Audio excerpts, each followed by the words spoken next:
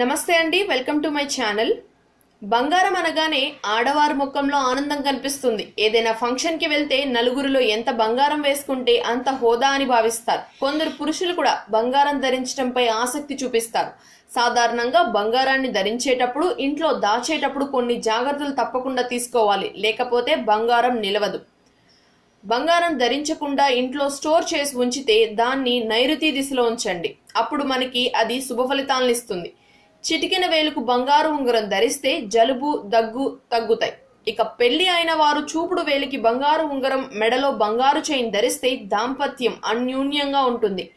ఇక గర్భిణీ స్త్రీలు ఎక్కువగా బంగారం ధరించకూడదు. దాని వలన ఒంట్లో హీట్ ఎక్కువ అయ్యి బిడ్డ ఆరోగ్యం దెబ్బతీస్తుంది.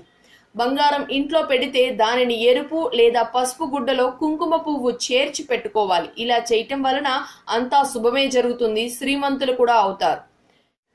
స్త్రీలు వడ్డానంగా బంగారం ధరించకూడదు. అలా చేస్తే జీర్ణాశయ సంబంధిత సమస్యలు వస్తాయి. తల్లిదండ్రులు గురువులు మరియు బ్రాహ్మణుల నుంచి బంగారం దానంగా తీసుకోవచ్చు. శత్రువు ఎవరైనా బంగారం దానం ఇస్తే తీసుకోకూడదు. ఇనుప వస్తువులను తయారు చేసేవారు బంగారం ధరించకూడదు. బంగారు పట్టీలు ధరించనే కూడదు.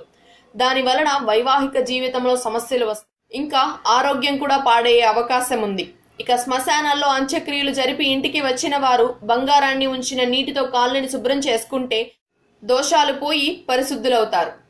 ఈ వీడియో కనుక మీకు నచ్చినట్లయితే లైక్ చేయండి కామెంట్ చేయండి షేర్ చేయండి. మరిన్ని ఇలాంటి వీడియోస్ కోసం కింద కనిపిస్తున్న రెడ్ కలర్ సబ్స్క్రైబ్ బటన్ని క్లిక్ చేసుకోండి. Thanks for watching.